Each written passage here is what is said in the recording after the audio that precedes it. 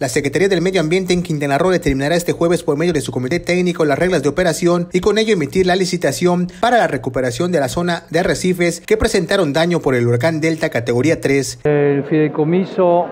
eh, particularmente el, que se refiere a manejo costero integrado, eh, fue exitoso en el sentido de que la póliza del seguro que se contrató para la protección de los arrecifes,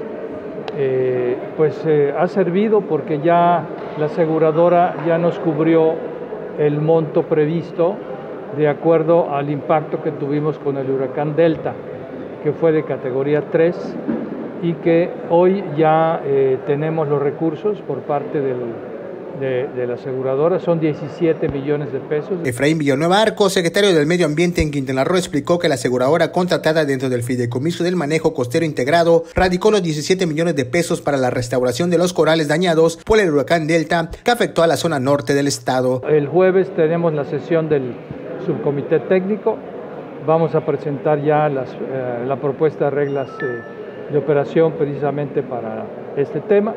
y eh, yo espero que de inmediato vamos a empezar a,